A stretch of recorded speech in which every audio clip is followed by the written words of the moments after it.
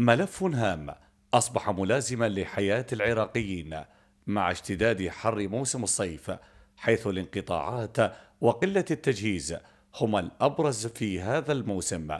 في وقت لم تتمكن مئات الملايين من العملة الصعبة من حلحلة موضوع تجهيز الطاقة الكهربائية. من سنوات يعاني من هذا الموضوع موضوع الطاقه الكهربائيه نتمنى التجهيز يكون بشكل أفضل. نتمنى تكون لحكومة الديوانيه خطوات جادة بمخاطبة حكومة بغداد من أجل زيادة التجهيز لأن الديوانيه تحتوي على ثلاث محطات. هاي المحطات ممكن الديو... آه، ضجيج. هاي المحطات مخلفاتها أثر على المواطن. أمنيتنا إنه ما يكون آه، دمج آه، مشكلة الكهرباء مع الوضع السياسي أو أو التحزب أو غيره أو ممكن إنه إحنا نعول الأسباب إلى الدول المجاورة أو غير المجاورة. المجاوره ونقول بسبب آه، كذا وكذا. خلي إحنا ننتبه إلى الوضع. 20 سنة كل شيء ما مسوين.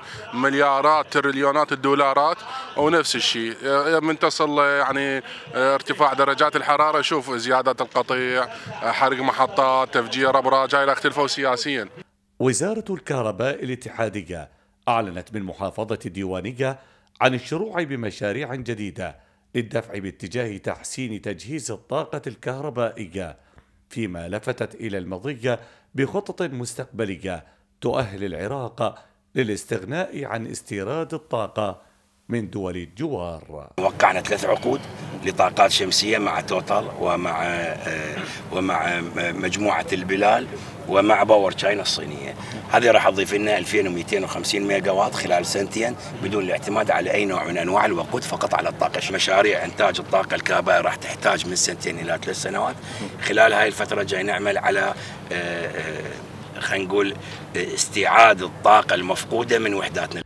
الوعود الحكومية رغم كثرتها إلا أنها باتت غير مقنعة عند المواطن العراقي الذي يقضي أيام موسم الصيف باحثا عن البدائل التي تعينه ليعبر جحيم الحرب بسلام وليتكرر السيناريو عاما بعد آخر ويتمدد الفساد وتتمدد معه معاناة البسطاء.